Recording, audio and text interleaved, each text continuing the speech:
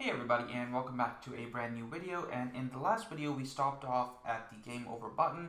And before we get into scene management, restarting the scene, going to the main menu, one of the things that I really quickly wanted to do was I wanted to make our game a little bit more tricky and a little bit more harder because at the moment it's a bit slow, it's a bit bland, and it's really easy to just keep smashing the zombies. So what I want to do is I want to add something like as the game progresses, it gets harder and harder, and the way we're going to do that is essentially by increasing the speed um, with which these zombies rise. So we'll have a score, right? And we already have a score here. So what we'll do is every time the score increases by a certain amount, we'll increase the rise speed by a little bit. And then when it increases again, the score, then we will increase the rise speed again and again. And this is pretty typical of a lot of casual games, that the more you play, the harder the game becomes, okay? So over here in my game manager, just for um, the sake of uh, simplicity, I'm gonna go ahead and make the rise speed one for now, and we can tweak this and see what the best rise speed for us is. And I'll go ahead and switch on over um, to our code.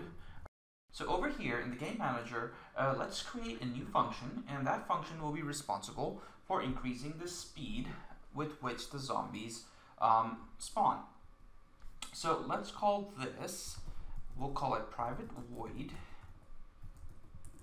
increase spawn speed. And over here, we are essentially going to be increasing um, the speed of the zombie. So what we want to do is we want to check, hey, is the score above a certain threshold? So let's go ahead and scroll all the way to the top and let's create a new variable and we'll call this public and we'll make it public so that we can set the threshold through the inspector. And let's see, public integer and we'll call this score threshold and by default we'll give this 5, okay? So we'll say when the score hits 5, we are going to increase the speed okay? Um, so coming over here, what we're going to do is something like so. We'll say, hey, if zombie smashed is anything greater than or equal to my score threshold, okay? So if the number of zombies I've smashed is actually greater than my score threshold, what I want to do is I want to increase the speed which with which they rise, okay? So that's rise speed plus plus. And now I want to create a new score threshold. Now it just depends on how you want to increase that threshold, right? You could say, hey, you know, the next threshold should be at 10, uh, and then the next one should be at 15, increasing by 5. But for me, what I wanted to do was I wanted to double the threshold every single time. So the first time, if you kill 5 zombies, um, that's when the speed increases. But then the next time you have to do 10 and then 20 and 40 and so on and so forth. So in my case, what I'm going to do is score threshold times equals 2. And if you're confused about these shorthands, we'll just quickly discuss them. So rise speed, and we've talked about this before, any integer plus plus essentially means you add 1 to it. So this is the same thing as saying rise speed equals rise speed plus plus 1, okay? And over here, score threshold time equals 2 essentially means score threshold equals score threshold times 2. So that would be something like score threshold equals score threshold times 2. And these are essentially just shorthands that you will see so commonly that it's just easier to become familiar with it and get in the habit of using these.